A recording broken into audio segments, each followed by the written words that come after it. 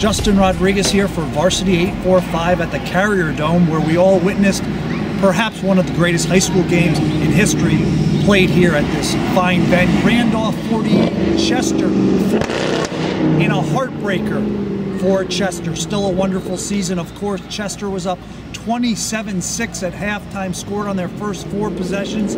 They looked like they were rolling, but back came Randolph, who in the process of this unbelievable comeback won their third straight Class D title. Of course, they beat Chester 42-13 last year. Of course, a much improved Chester game team, excuse me. What a great game. After the teams went back and forth for much of the second half, the Hambletonians took a 41-40 lead on a 31-yard touchdown from Vinny Alloy to Justin Feldman. Both players were magnificent, among others for Chester. Randolph, what appeared to be a desperation drive with 42 seconds left on their own, own 23-yard line. In two pass plays, they go all the way to Chester's five, they spike it, and then Bryce Morrison scores from five yards out with 26 seconds left. He converts the two-point conversion. It's 48-41. Chester can't come back. That's the final. Randolph 48-41 in a classic.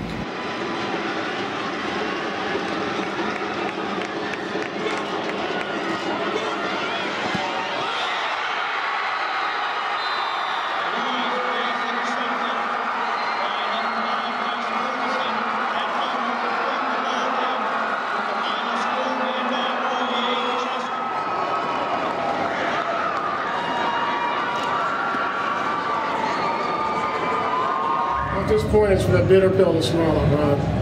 I told our kids, this is a two-time champion. If you have to kill the king, you can't wound them. We had them wounded at halftime, but did you finish him off. And that was part of the problem. We used to, man, we made so many mistakes. It's impossible. I don't know how many mistakes they made. It's just ridiculous. You can't overcome those against you know, a team like that. Yeah, we, we played great all year. We played great, but I'll be honest, we came up here to win the games.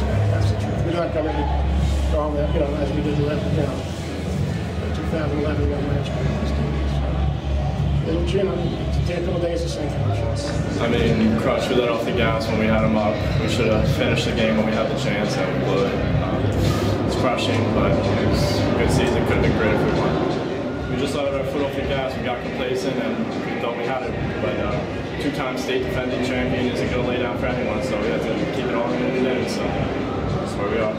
This is Justin Rodriguez signing off for Varsity845.com from the Carrier Dome.